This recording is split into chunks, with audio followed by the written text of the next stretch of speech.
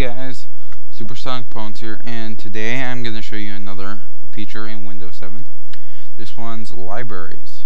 So you automatically got your libraries folder right here. Click on that and it'll open up libraries, which is just exactly like your, almost exactly like your um, user files. So yeah, you just got your documents, music, pictures, videos in here. You can see all those. You can also go into your person, your user, tremendous car, and it's got the actual files. I'm not sure what the difference is.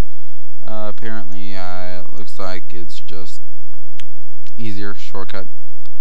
And all Explorer windows, when you open those up, the uh, icon will be the libraries.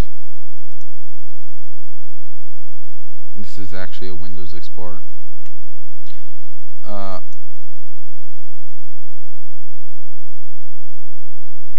icon, yeah, that's it, in the taskbar.